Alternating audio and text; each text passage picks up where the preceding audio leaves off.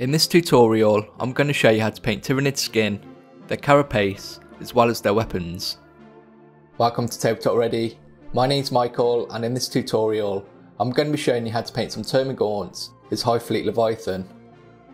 Any brushes and paints I use in this tutorial will be linked in the description, as well as being shown on the screen when I use them.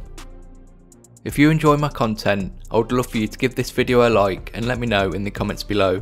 It really helps get my content out to more people. And if you want to help support the channel and what I do, you can become a channel member or you can join my Patreon, which I'll also link in the description. I really do appreciate any help and support and it goes a long way to creating all the content on the channel. And it also allows me to keep making improvements to the quality of the videos I make for you and I really massively appreciate the continued support from these amazing people who've made this tutorial possible.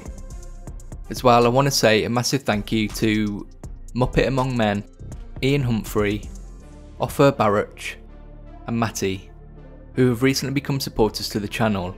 Thank you very much. I've always enjoyed painting Tyranids because they're the only faction to be completely organic, so we can have a lot of fun with some washes and glazes to get them painted. Because you tend to have a lot of termagants to paint, I've fully assembled them and undercoated them using Wraithbone spray, making their pale skin easier to paint. And through this tutorial, I'll be showing you all the techniques and steps that you'll need to get your termagants painted. And to make it easier to follow along with, I'll split the tutorial up into different chapters.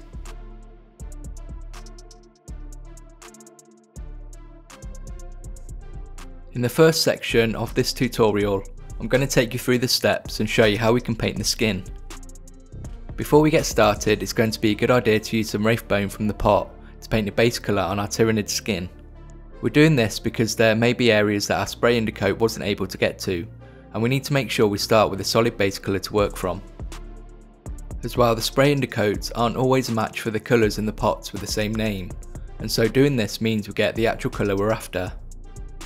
Whenever we're painting, it's always a good idea to thin our paints first, and I find an equal amount of water does the trick. As well, I like to remove some of the paint from the brush on some paper towel first, giving us more control over how much paint is deposited. And when painting this base colour, you want to make sure you keep your brush moving, and try not to go over any areas you've already painted, preventing unwanted texture whilst the paint is still drying. And because we thinned our paint, it's not going to give us that solid colour straight away, don't worry though because once our first layer is dried, we can repeat the process and paint another layer. Painting in multiple thin layers like this lets us build up to a solid colour without losing any details.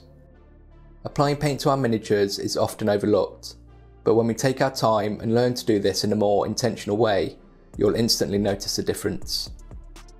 Now we've got our base colour sorted, we want to bring out all those contours and details in the skin, helping it to look less flat using a thin wash. But before we do the wash, let's use some Emperor's Children and paint all those areas between the body sections and these ridge details in the arms and legs. Remember, you can always go back and neaten things up whenever you need to. We want to do this now because all these areas will also benefit once that wash is dried. So to make the wash, we want to thin down one part Volupus Pink Contrast with 8 parts Lahmian Medium. Using Lahmian Medium means we can make our Volupus Pink Contrast more transparent while still having it cover more evenly as water tends to break up the contrast causing it to cover unevenly. When you're ready we want to apply this all over the termagant skin and you want to use enough so it covers comfortably. And although we want it to settle more into the recessed areas, try not to let it pull too much. And if you see this happening, you can just use your brush to soak up any excess wash we don't want. Now we want to work on lightening those raised areas of the skin using the Wraithbone glaze. To create a glaze using our Wraithbone, we just want to thin it down with 2 parts water, as we only need to make it more transparent. And you want to paint this in even thin layers, which is going to help us create smooth transitions, again making the skin look more natural. Glazing is often seen as a very skilled technique used by more experienced miniature painters, but it's not that different from painting normally, it just takes a bit more practice and getting used to. In fact, I find it quite a fun technique to do. Like our base colour, we can apply this glaze in multiple layers to strengthen that colour, making it lighter as you get to the most raised areas of the skin. Take your time with this step as rushing it we can completely ruin the hard work we've already put in covering up all those interesting colours and tones that have been created. Once you're happy with how everything looks, it's time to really make some of those details and edges stand out using the highlight. I do want to go into some detail about highlighting as we're going to be doing quite a bit of it throughout this tutorial. So for this first section, I'm only going to be talking about your standard line highlight, but later on in the tutorial, when it comes to highlighting the carapace, we'll be going into more detail about the different highlights we can do. Whenever I'm highlighting, I like to keep a brush separate, so I know I have a brush that's up for the task when I need it. As well, I don't tend to thin down the paint as much as I normally would, as we want a nice strong colour without having to apply it multiple times. And I like to remove some of the paint from the brush, which gives us more control on how much paint is deposited, preventing those thick blobby lines. The colour we're using is White Scar, and when you're highlighting, the idea is to paint thin lines along edges and details you want to be more pronounced and noticeable, helping to define the shape of an area. This is where having something to hold on to really helps, so we can move and rotate our miniature around making painting thin lines so much easier, as we can paint in a downwards motion with our brush. I'm not doing a lot of highlights at this stage, as you don't tend to get many hard edges on squishy fleshy areas, so I'm really just picking out the obvious edges and details. Highlighting does take a bit of time and effort, but it really does improve the look of our miniatures once we're done.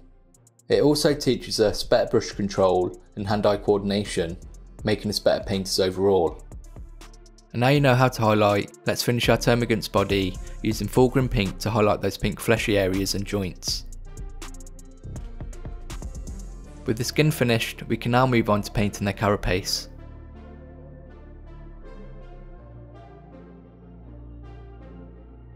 I now want to go through the steps of painting the carapace and show you the different stages of highlights we can do on our miniatures. Apart from the fleshy areas, the next most prominent feature of any Tyranid is their carapace, so let's see how we can go about painting it.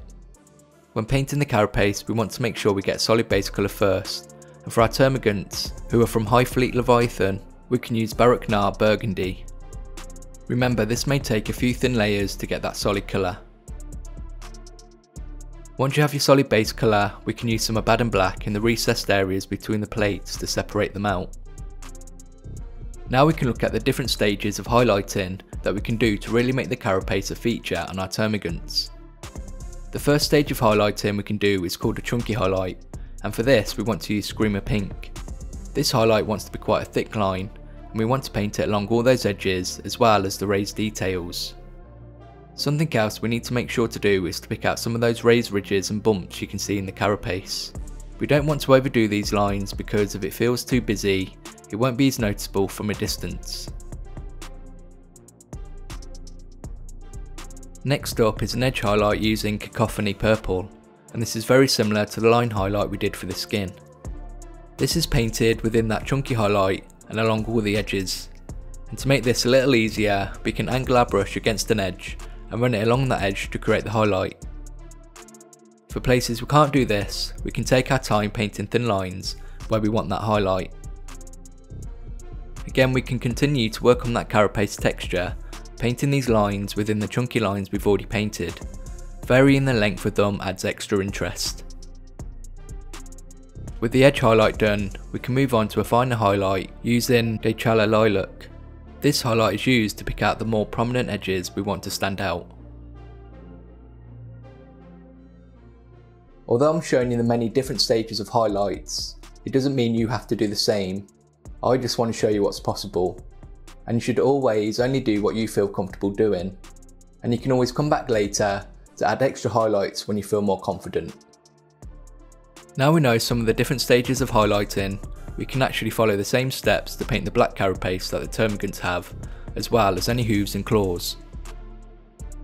Our base colour for these areas is going to be Abaddon Black to start with, making sure not to get it on any areas we've already painted.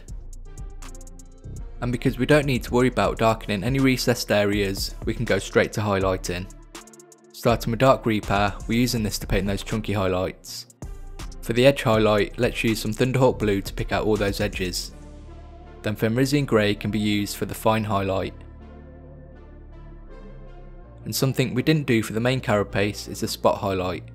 This involves painting small dots of blue horror on corners and points. This will help define the shapes and details even more. So following the same steps we used to paint our carapace, you'll have no problem painting other Hive Fleet carapaces as well. It's just deciding what colours to use. Now we have the skin and carapace both finished, there's actually not a lot left to do, so let's work on finishing the rest of the details next.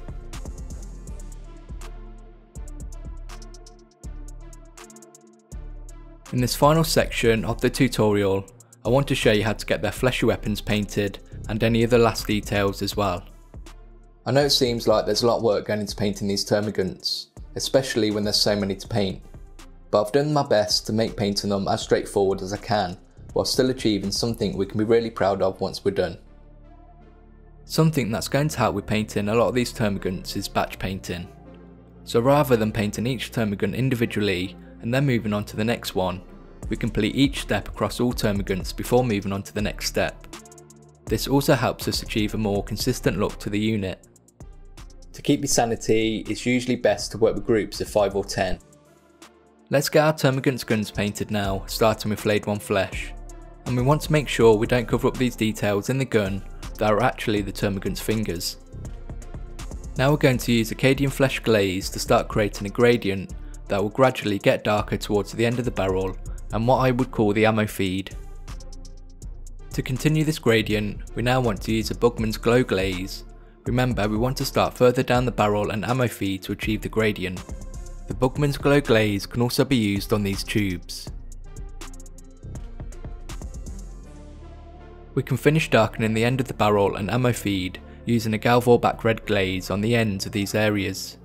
And because we're using a thin glaze, this can be used in some of those recessed areas to help bring out some of the details. We're using glazes not only to create smoother transitions, but also because we don't want to lose any details with so many layers being used. Finish the gun using Wraithbone to highlight. One of the last details on our termagants left to paint are those teeth, which we can simply paint using Ushabti Bone, and then Wraithbone to highlight.